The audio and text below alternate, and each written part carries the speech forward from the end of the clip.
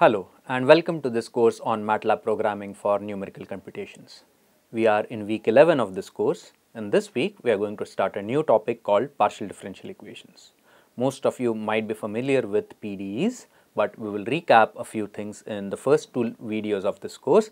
Thereafter in the last uh, couple of videos we are going to talk about how to solve PDEs using MATLAB.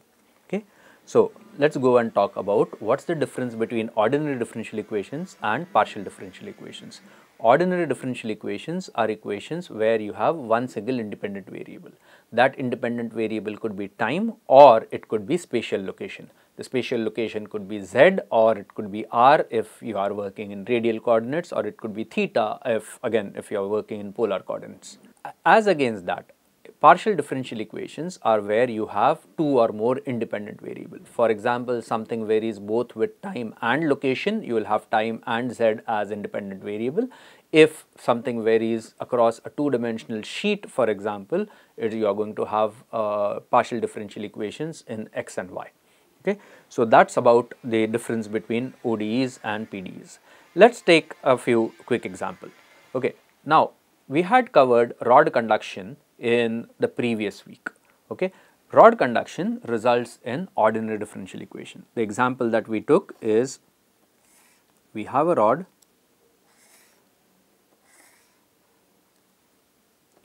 with one end at 100 degrees Celsius, other end at 25 degrees Celsius and it loses heat to the surroundings uh, which is proportional to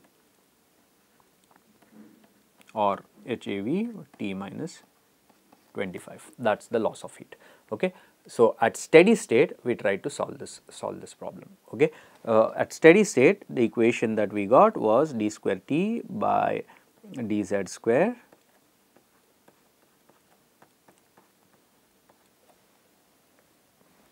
this was the equation that that we obtained.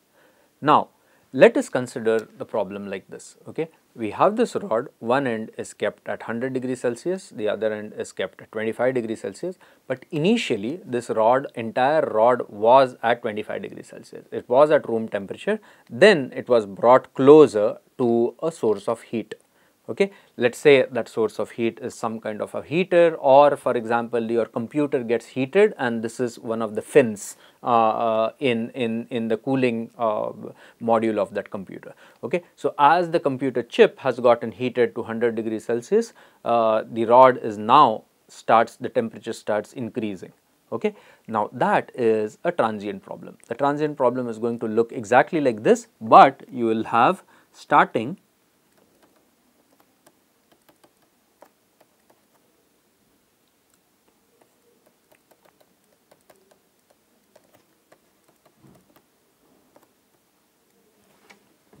So, this is an example of a transient uh, uh, equation.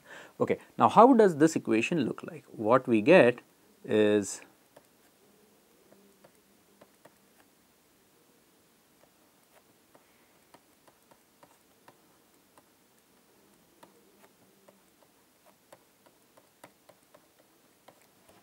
okay, we get an equation of this type. Sorry, it should not be D, should be partial. Okay. So, now there is this variation in time and variation in space. Okay. What happens if a lot of time passes? Let us say 1 hour later you come back and look at this particular fin. What happens is that the temperature does not change with time anymore because it has reached steady state. So, dt by dt becomes 0 at steady state and your gamma is going to be nothing but beta by alpha. Okay. When that happens, you are going to get a steady state solution and that steady state solution is the solution to the original boundary value problem that you solved. Okay. But in transient, the temperature increases from uniformly 25 degrees throughout to 100 to 25 degrees Celsius as we have seen in the previous week. Okay. So, that is the example of rod conduction problem in uh, one dimension with things varying in time and space. Okay. Now, instead of a rod, let us say that the fin was a plate. Okay. Let us say it was a two dimensional plate that looked, looked like this. So, what is going to happen is that the temperature is going to vary in both x and y direction.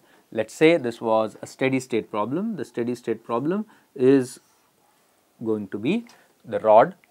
This is kept at 100 degrees Celsius. This is kept at 25 degrees Celsius and this loses heat and this boundary loses heat. Okay. In the domain, the domain equations is going to be d square t equal to 0. This is called a Laplace equation. So, the equation that you are going to have is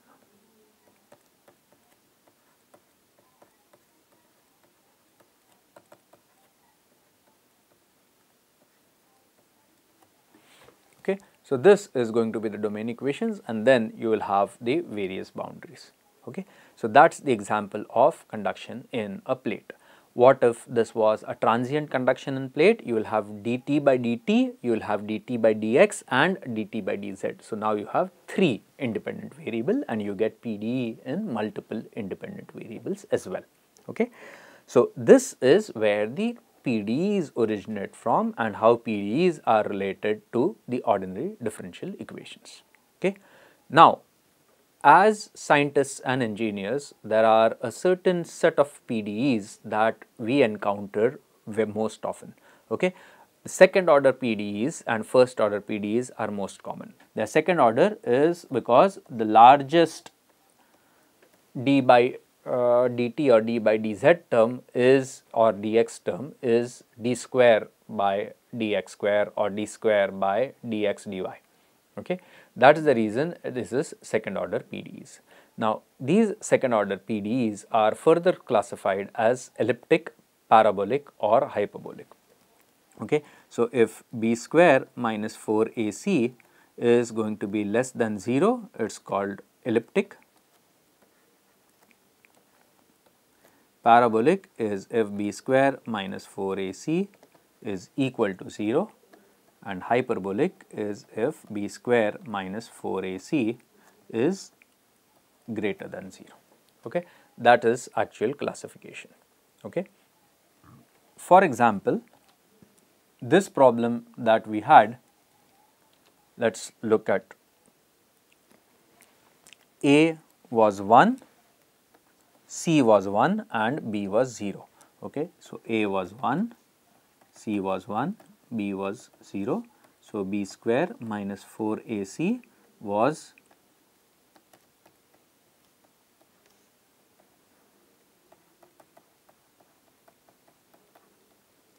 okay. So, in other words elliptic problems are problems where you have boundary value problems in both x and y direction. Those are the type of elliptic problems. Okay. Let us look at this particular problem. Okay. Now, sorry not this, let us look at this particular problem. Okay. So, if we look at this we have d square t by dz square. Okay. So, that is our C. We do not have d square t by dt square is not present. So, our A is 0, our B is 0 because we do not have dt d square t by dt dz okay, and our C is going to be negative alpha. If we take this on to the other side, our C is going to be negative alpha. Okay. So, then what do we have? We have b square minus 4 ac is equal to 0. So, this is an example of parabolic ODE. Okay. Most commonly, we will encounter parabolic ODEs when we have a transient equation where there is diffusion type of a thing or a conduction type of a thing taking place. Okay. So, those are the example of parabolic ODEs. Example of hyperbolic ODEs is what is known as wave equation. Okay. So, let me come uh, uh, come to the next part. Okay. Now, what is the example of wave equation and the wave equation you might have studied is something called utt equal to c square uxx. Okay, what that what does that mean? It means d square u by dt square minus c square d square u by dx square equal to 0. Okay. So, the first order PDEs are something that are said to have hyperbolic characteristics. Okay. Technically speaking, if these terms are not there, then whether it's elliptic, parabolic or hyperbolic PDEs does not matter because uh, elliptic, parabolic and hyperbolic are defined for second order PDEs. However, lot of researchers call first or call first order PDEs as hyperbolic PDEs for the reason that I showed in the previous slide. Okay. So, this is the overall classification of PDEs as elliptic, parabolic, hyperbolic as well as first order PDEs. So, let us take examples of typical PDEs of interest. The Laplace equation is written in terms of d square t equal to 0 or d square t by dx square plus d square t. Okay. This is the example of a Laplace equation. The wave equation is something that we have talked about earlier and that is d square uh, u by dt square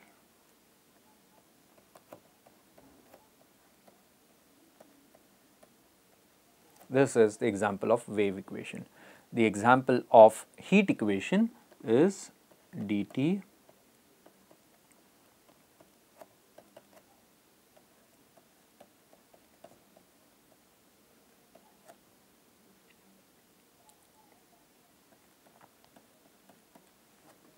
This is the example of heat equation. Example of Poisson equation is d square t by dx square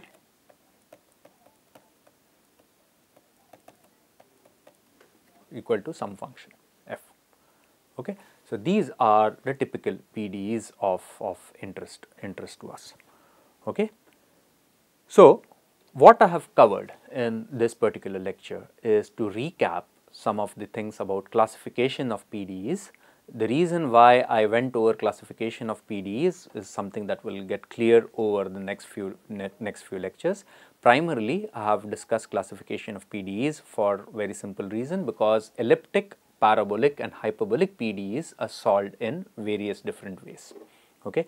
Uh, the approaches for solving these three PDEs are different and therefore, understanding about what these PDEs are is something that will be useful for you.